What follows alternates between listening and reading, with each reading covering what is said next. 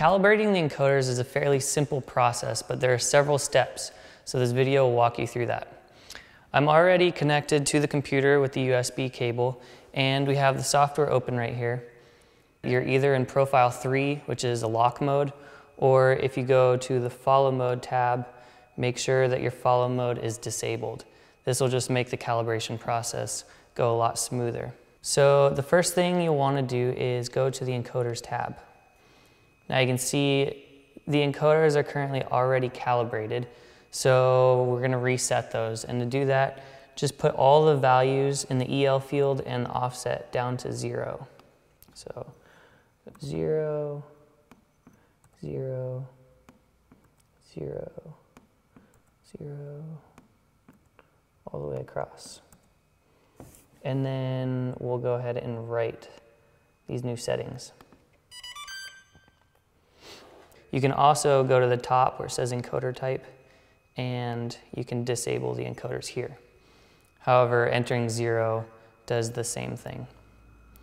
So with the encoders disabled, you'll want to make sure in the basic tab that you have the PID values set the way you want so that the gimbal is stable, not vibrating at all.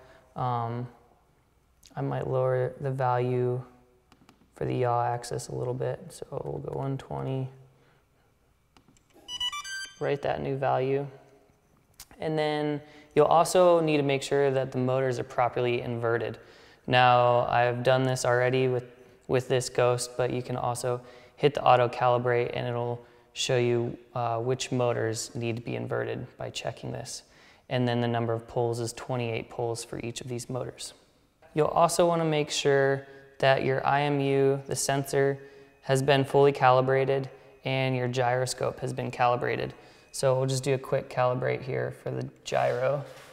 Level everything out, hold it for a couple seconds, and now the gyro is calibrated. So everything's set up to run normally without the encoders.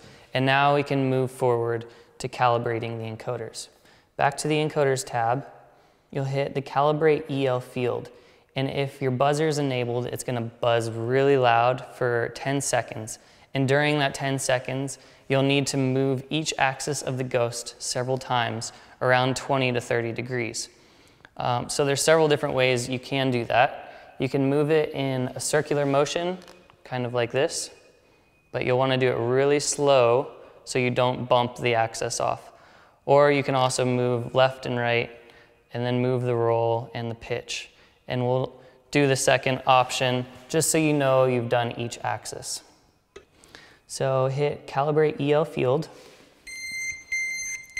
and then move left and right three times, pitch three times, and yaw three times and then just hold it steady. So now you'll notice that these values have changed. So for roll, pitch, and yaw, the EL field has been calibrated with these numbers. And the next step you need to do is hit calibrate offset. So you'll have five seconds to stabilize the ghost, make sure the axes are lined up, and then the motors will lock in place. So calibrate offset hold it in place, steady, and now it's calibrated the offset. So you'll also notice down here at the bottom, the encoder motor gearing ratio is right around one for each of these. If you get a number that's drastically off from that, then you'll probably want to recalibrate that encoder. The way that you'll know that all the encoders have been properly calibrated is by this little blue ball on the right hand side. It should be centered for each axis.